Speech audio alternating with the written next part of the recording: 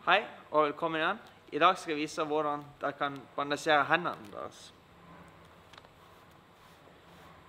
Det finnes sikkert hundrevis av videoer på YouTube som viser hvordan man skal bandasjere hendene, og alle sier sånn at nei, det her er den beste måten å gjøre det på. Men det finnes mange forskjellige måter, og jeg sier ikke at det her er den beste måten, men det er min metode. Eh, det begynner med å holde den hånda jeg skal bandasjere, holde ut sånn ut med fingrene. Den holder jeg i ro hele tida. Og så fester jeg den sånn på tommelen, og så går jeg ned den veien. Og det her er ganske lange banaser så jeg tar tre ganger rundt. Har du en kortere banase som jeg kan se tre-fire meter, så går det bare to ganger rundt. Tar de tre ganger, og så tar hun tommelen, så opp over knokene. Her tar jeg én, to, tre.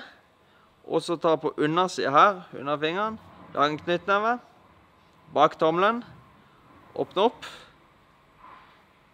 Mellom der. Knytte. Legge bandasjen utover hendene. Sånn.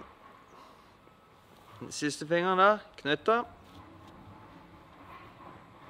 Bare legge fint ut der. Går en sånn. Og så går jeg over her. Legger over knokene mine.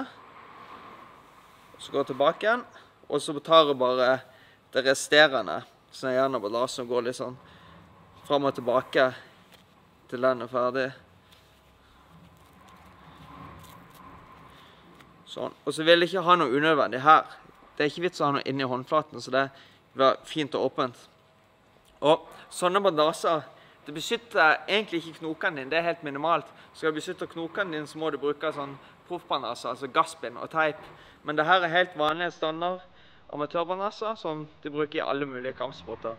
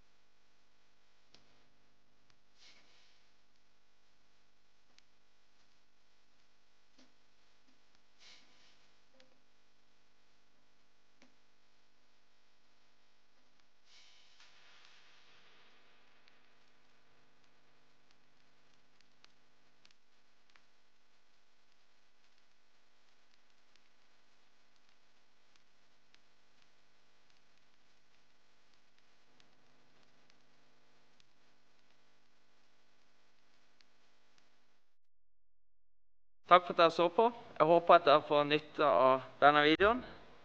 Husk å abonnere, legg gjerne en kommentar, like videoen, så ses vi neste uke.